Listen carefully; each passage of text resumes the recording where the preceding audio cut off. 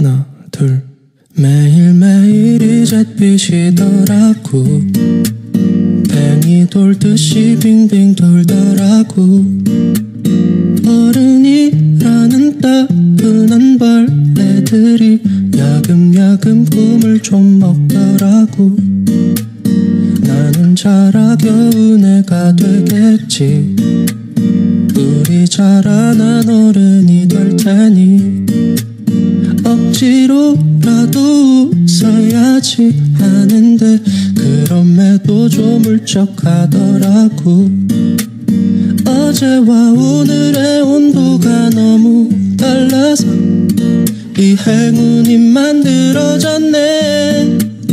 내가 머물기에 여기는 너무 높아서 한숨 자국만 깊게 드러났네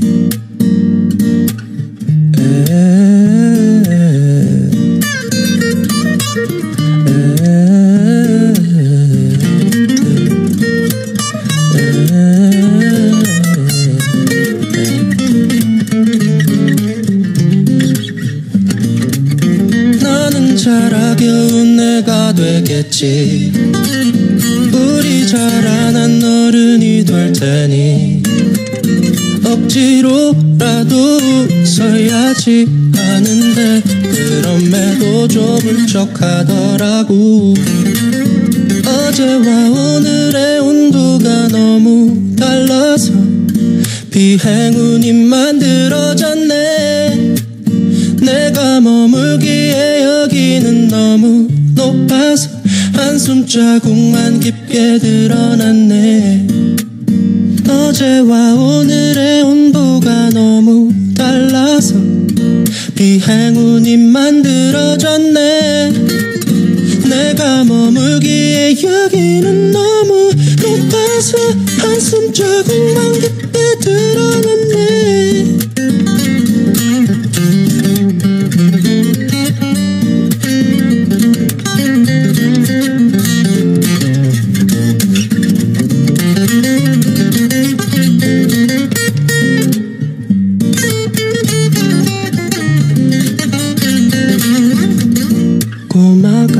간직했던 꿈은 무엇일까?